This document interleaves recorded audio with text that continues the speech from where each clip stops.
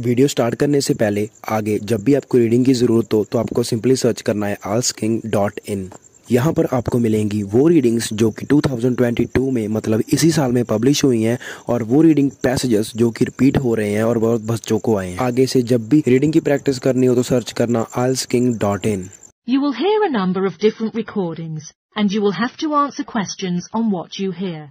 There will be time for you to read the instructions and questions. And you will have a chance to check your work.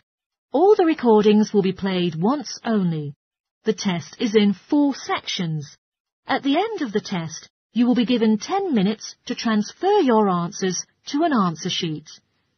Now turn to section 1. Section 1. You will hear two students called Harry and Andrea in conversation talking about ways to handle the boys' personal stuff. First, you have some time to look at questions 1 to 5.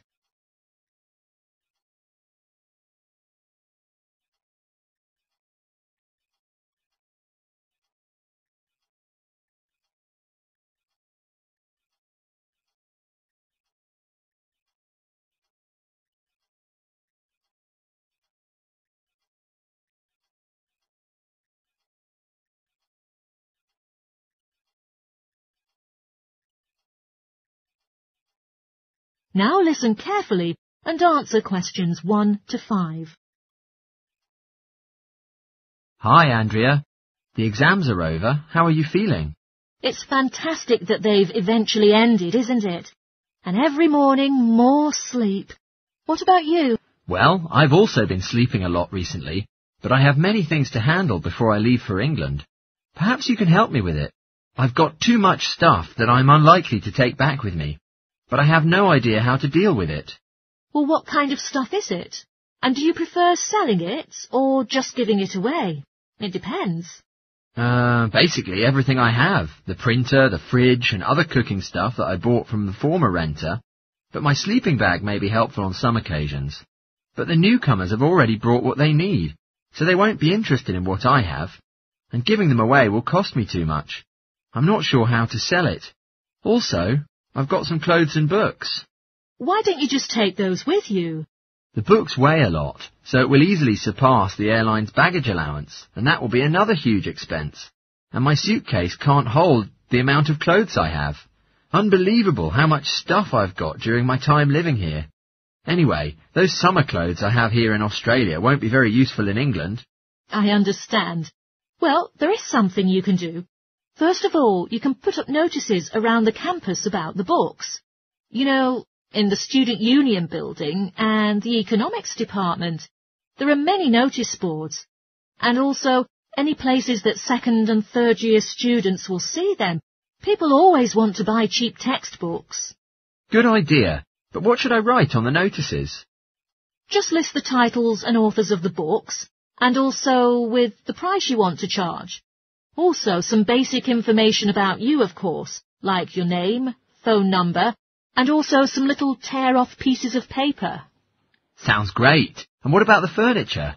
You could try to put on notices about furniture too, but normally students won't be around all summer, so they may have no interest in buying furniture now. You may also try a second-hand shop. The store will send someone here and give you a free quote. Then you decide whether you want to make a deal, but usually you can't expect a really rewardable price offer. Before you hear the rest of the conversation, you have some time to look at questions 6 to 10.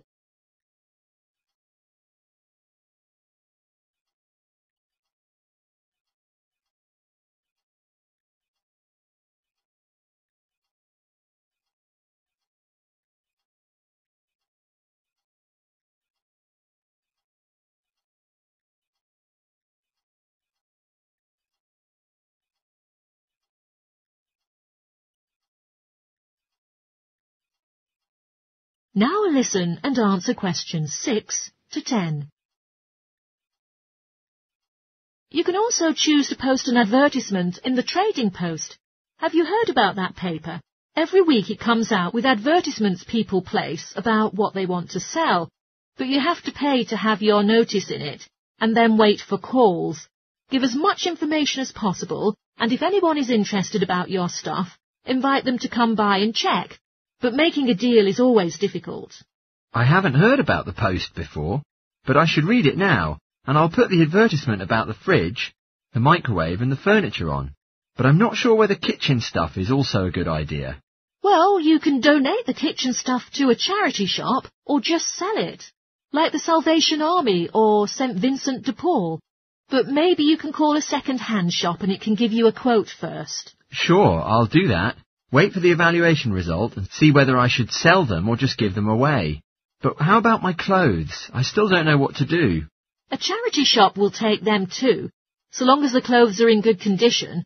And although you don't get paid for them, you know someone who really needs the help will benefit from your clothes. That's very true. I'll put the expensive stuff, like the furniture, on advertisements, and donate the clothes and kitchen things. Come on, let's go and buy a trading post and we can write the offer together. Well, in fact, I'm interested in buying your microwave as well as fridge, depending on your offer, of course. Okay, let's see how good you are at bargaining. That is the end of section one. You now have half a minute to check your answers.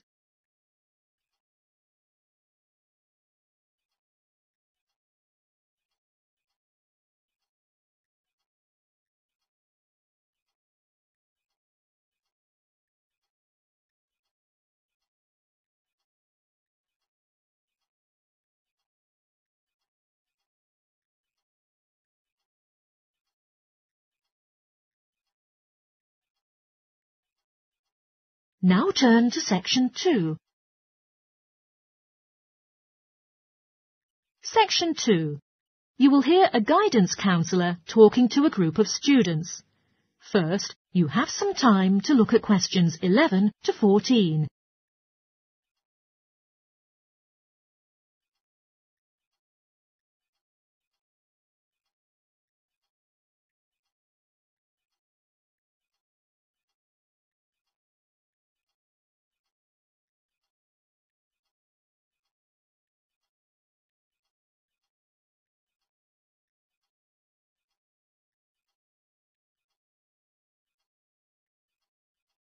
Now listen carefully and answer questions 11 to 14.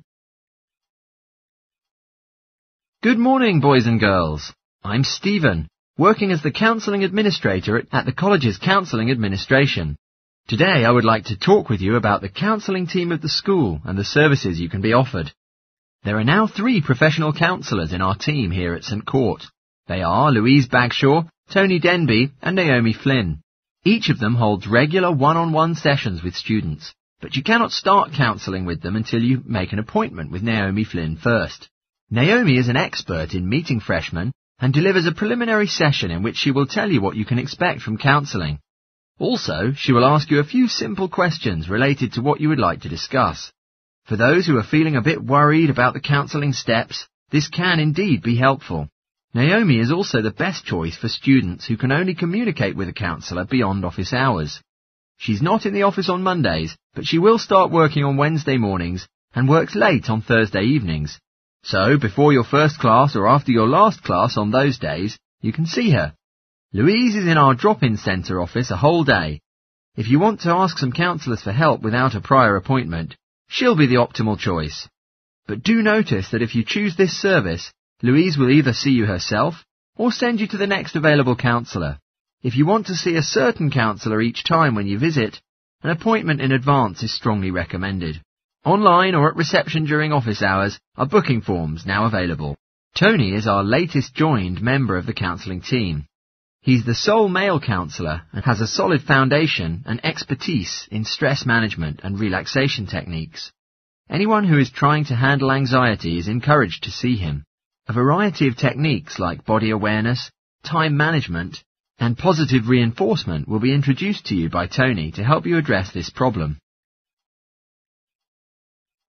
Before you hear the rest of the talk, you have some time to look at questions 15 to 20.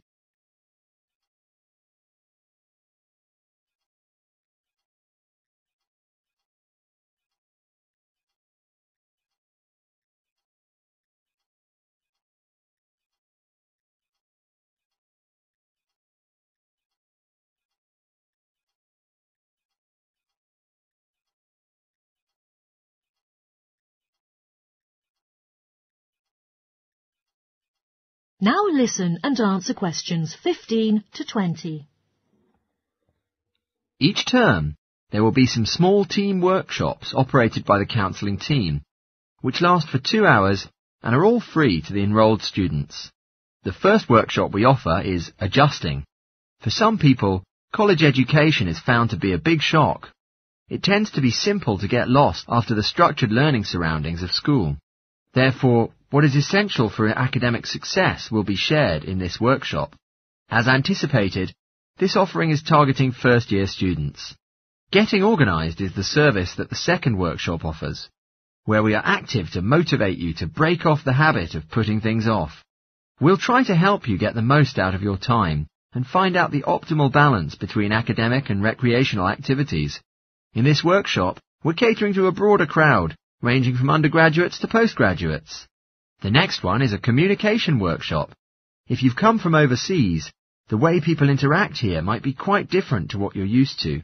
This workshop will recommend some ways of handling many situations to foreign students. For example, they might find themselves struggling on how to talk with teachers and other staff. It will also cover all aspects of multicultural communication, International students will learn a lot from this class, so we particularly encourage you to come along. But I have to say that occasionally local students can find it helpful as well. Everyone is welcome. The workshop called Anxiety will be available later on in the year, and it will target something you might be familiar with. That is the nerves and the anxiety brought by the coming exams. Lots of students experience their entire academic careers like this, but surely there is a way to solve problems. Come to the anxiety workshop and you can learn several ways to relax and the proper way to breathe, as well as meditation and other methods to keep calm. This workshop is designed for everyone who is going to take exams. The last workshop we have is the motivation workshop. The theme for this workshop is how to stay on target and be motivated during long-run projects. This workshop is only available for research students. Less advanced students already have some workshops dealing with their needs. Well, that's it. Thanks for listening. If you'd like to learn more information about our services, do visit us at Counselling Service. That is the end of section two. You now have half a minute to check your answers.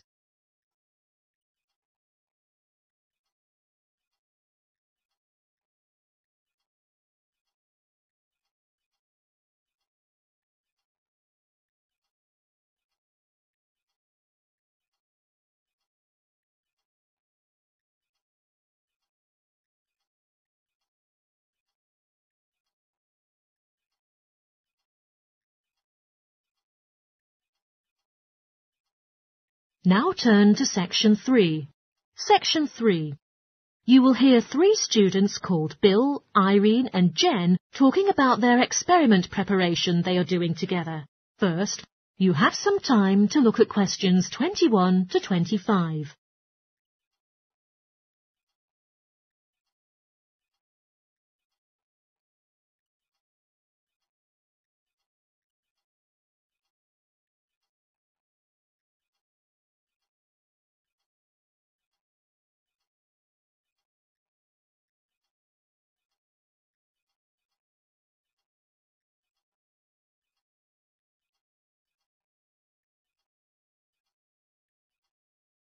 Now listen carefully and answer questions 21 to 25. Oh, hi Jen and Irene. You two are heading to class, aren't you? Hey Bill, yes, we are just walking there now. It's a little bit early now though. We still would like to make some preparations for our apparatus for the experiment practice. How about walking with us? Come on. Of course, it's really great to catch up.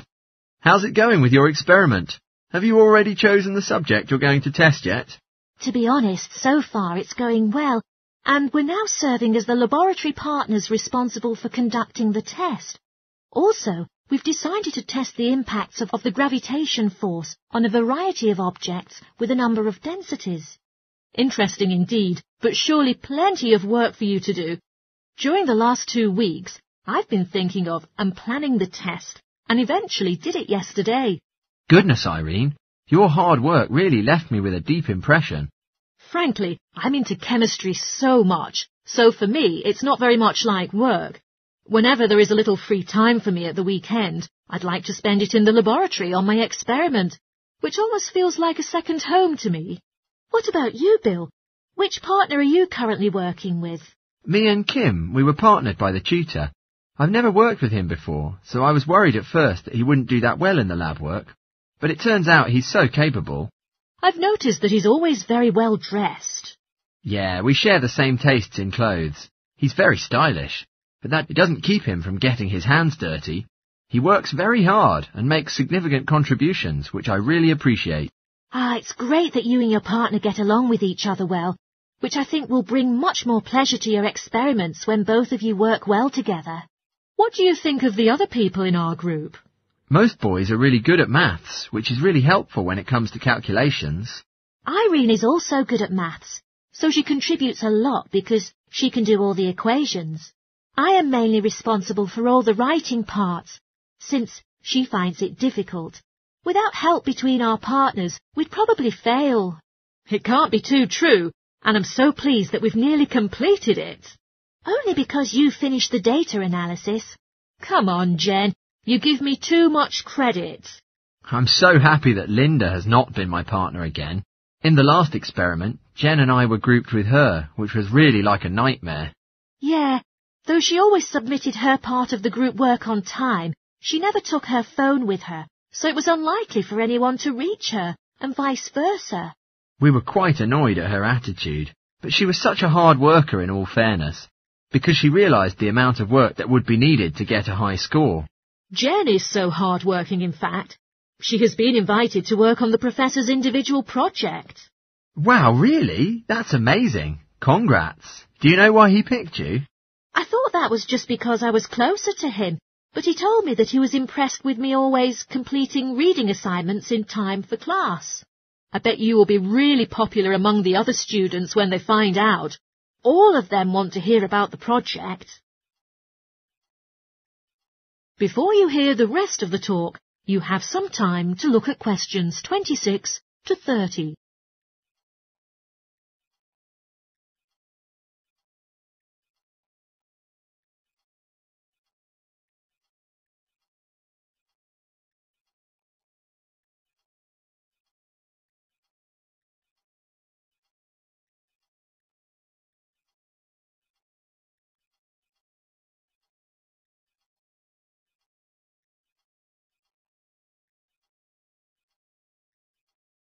Now listen and answer questions 26 to 30.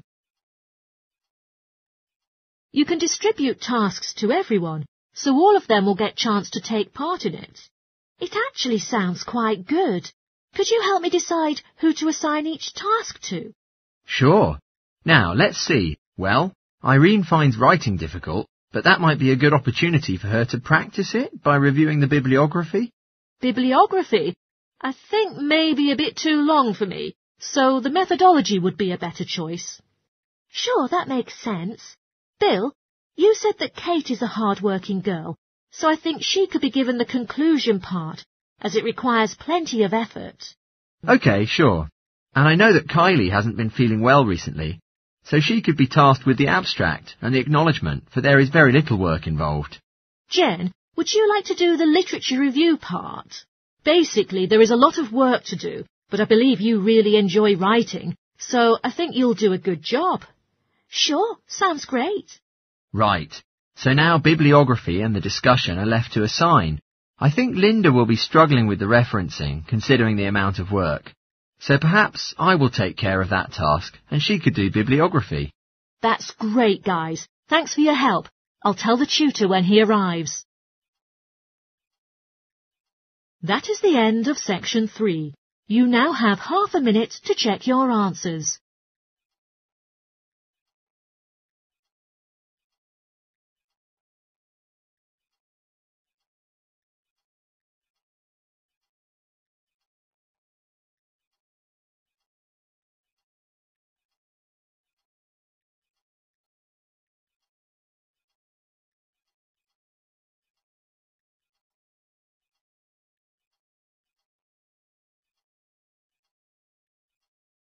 Now turn to section 4. Section 4. You will hear a psychology student delivering a presentation about the research she is currently conducting on expertise in creative writing. First, you have some time to look at questions 31 to 40.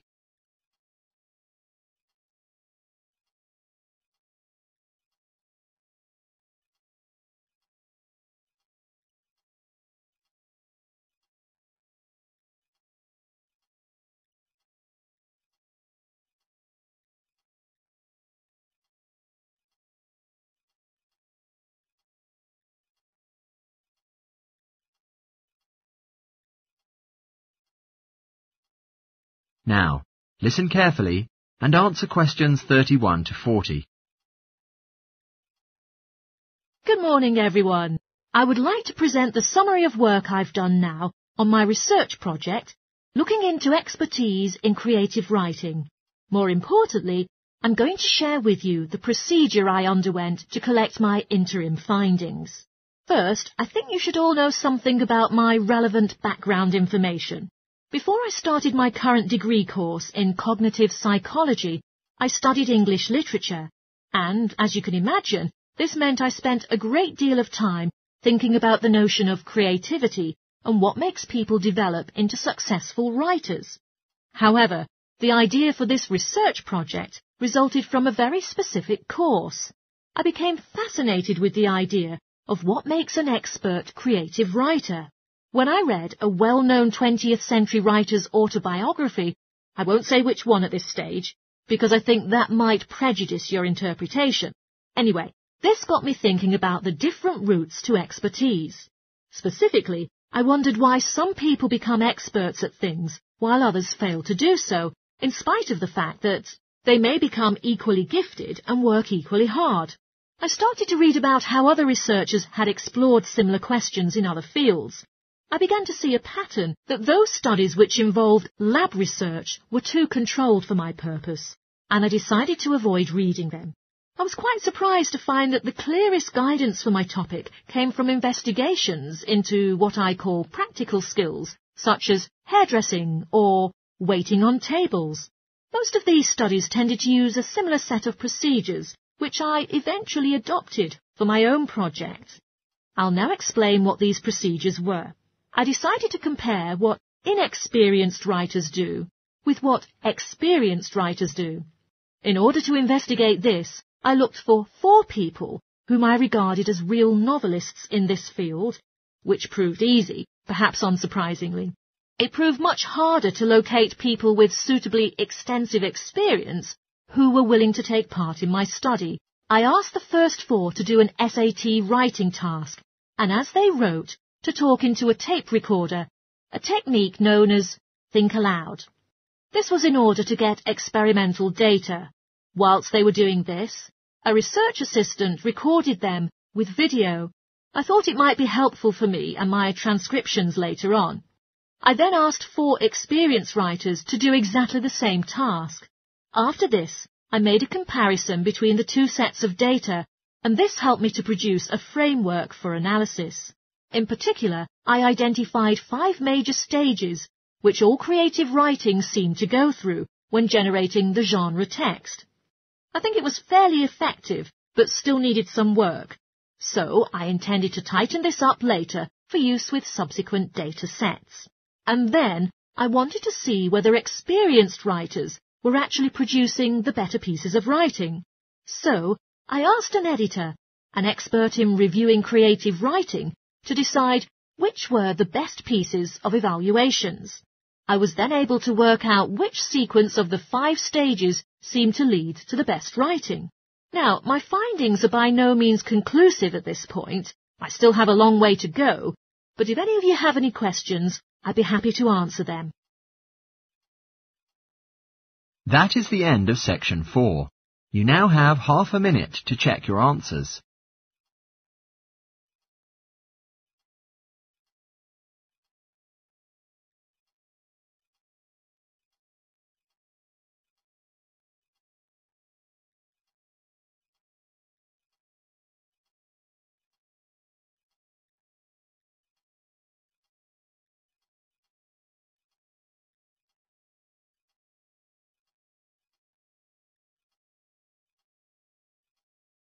That is the end of the listening test.